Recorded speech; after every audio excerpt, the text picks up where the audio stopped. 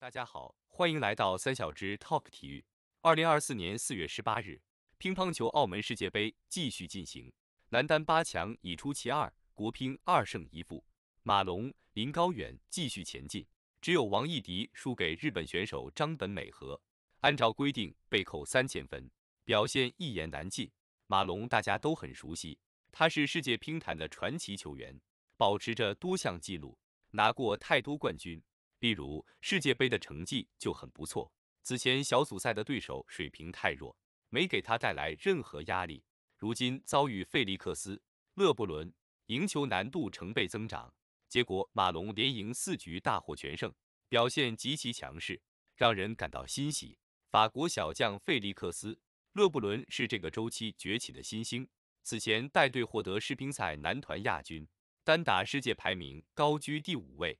作为十七岁的小将，能取得这些成绩确实了不起。勒布伦的直板横打技术非常先进，但对国乒还真的威胁不大，反而是不如他的哥哥艾利克斯。勒布伦起码赢过主力。比赛开始后，第一局马龙采用稳扎稳打的策略，通过节奏的变化打乱对手。费利克斯非常着急，但上手后命中率太低，马龙发球转或不转结合。让费利克斯很难站住位，就更别提主动发力去提升质量。马龙以十一比七先拔头筹。国乒对直板打法的了解自不必多说，准备太充分。第二局费利克斯还是争抢前三板，争取主动上手，形成相持。马龙凭借落点调整调动对手，让费利克斯始终对不上点。马龙全面领跑，以十一比八再赢一局。第三局马龙可能是专注度有些下滑，无谓失误明显偏多，被费利克斯抓住破绽，回敬十一比七还以颜色。对手的球商确实很高。第四局马龙稳住阵脚，换个套路对方没有准备，毕竟龙队得分手段太多，技战术更是全面。马龙九比四领先，费利克斯追至六比九，马龙叫暂停，随后以十一比八扳回一局。第五局。勒布伦用自己的年轻频发的冲击，他一度也是取得了领先。取得领先后的勒布伦也是张本智和上升，上演两岸猿声啼不住的情况。这一局勒布伦也是以十一比八拿下。第六局比赛，马龙在调整后开始取得主动，他也是瞬间将勒布伦的声音打没了。在落后之后，勒布伦也是非常的焦急，这也让他很快输掉了比赛。马龙也是以四比二击败了勒布伦，完成了晋级。为何能够轻取勒布伦呢？首先，作为双拳大满贯，马龙的实力还是占优的。只要马龙正常发挥，勒布伦就赢不了龙队。其次是勒布伦的心态，就像解说员郭燕说的，勒布伦的心态很容易失衡，一失衡他就忘记了教练说的。所以勒布伦的高质量球和低质量球的数量相当。这让勒布伦很难在高水平的比赛中获胜。淘汰赛被张本美和爆冷，日本队庆祝，谁注意王艺迪反应？戴胖没说错。新加坡大满贯赛半决赛的时候，因为连续输掉外战，李隼指导官宣了，因为连续输掉外战，王艺迪被取消了奥运会参赛资格。而王艺迪也是表态，感谢国家队给自己的比赛机会，他会好好的总结和提升。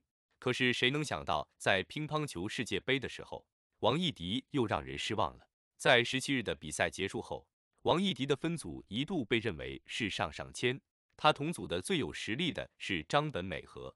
按照道理来说，王艺迪的实力击败张本美和并没有太多的问题。可是这一场比赛，王艺迪又让人失望。比赛一上来，相对于兴奋的张本美和，王艺迪的状态还是差一些。在关键得分的时候，张本美和连续的出手让他十二比十拿下了第一局。第二局比赛，王艺迪调整过后，十一比六拿下了第二局。第三局比赛，王艺迪这边的状态让人看不懂，从领先到落后。当张本美和越打越兴奋，开始叫起来，开始庆祝的时候，王艺迪却迟迟没有调整自己的状态，甚至我们在王艺迪身上看不到太多的兴奋度。他也是以八比十一输掉了第二局，大比分一比二落后。随后的第四局，张本美和又是干净利落，十一比六拿下，大比分来到了三比一。王艺迪距离出局只剩下一局，关键的第五局，张本美和完全是打疯了，哪怕双方非常的焦灼，可是因为拿下了三局，张本美和也是主动的出手，十六比十四拿下了第五局，大比分四比一击败了王艺迪。王艺迪所看的半区也是彻底失守。国乒按下张本美和的任务，则是要交给王曼玉了。为何被张本美和爆冷呢？或许从张本美和将局面变成了三比一的时候，我们看王艺迪的反应就能找到答案。在大比分落后之后，我们没有在王艺迪身上看到那股外战不能输的狠劲，我们看不到王艺迪高昂的斗志，甚至王艺迪有些沮丧的情绪，反而是助长了张本美和的气焰。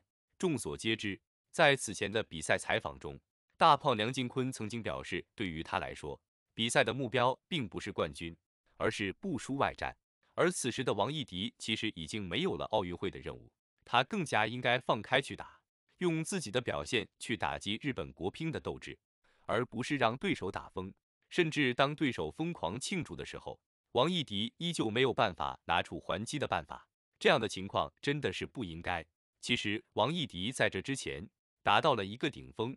分别战胜了早田希娜和伊藤美诚，以这样的成绩出战亚洲杯，王艺迪也顺利的完成了任务，并且拿到了冠军。但是教练组还是对王艺迪有过多的期待，让他登上巴黎奥运会是对王艺迪最大的伤害。虽然之前王艺迪有几次战胜日乒主力早田希娜，但是他还没有做好出战奥运会的准备，并不是谁有一定的实力就一定能够参加奥运会。这是综合实力考验的舞台，有巨大的压力存在。所以，当一名球员没有准备好的时候，赶鸭子上架，反而会适得其反。后来的事情，也许球迷都知道了。杭州亚运会，王艺迪获得了女单资格，但是在如此关键的比赛当中，王艺迪输给了日乒的直接竞争对手早田希娜。这次输球可以说让王艺迪重新认识了自己，他希望获得更好的成绩。比谁都希望，但是压力存在的情况下，不是每个人都可以发挥的淋漓尽致。釜山世乒赛，王艺迪再次委以重任，决赛中输给了平野美宇，这样的双重打击让王艺迪的心态直接跌落谷底。如果说亚洲杯的冠军是王艺迪的上升期的话，那么连续输给日乒球员就是王艺迪的低谷。而这次世界杯，王艺迪再次面对日乒球员。三号主力实力方面，王艺迪高出张本美和，但是在发挥方面，王艺迪畏首畏尾，心态不稳，已经影响了王艺迪的全部发挥，这是毋庸置疑的。总结来说，最大的责任人就是教练组，让王艺迪参加奥运会，这无可厚非。但是对于王艺迪来说，是没有做好这样的准备的。他能够在之前连续战胜早田希娜、伊藤美诚。但却因为压力过大而失去奥运资格的选拔。现在对于王艺迪来说，一切都不重要，自信心的恢复才是最重要的。这种从顶峰跌落低谷的自信心恢复，比实力提升更加困难。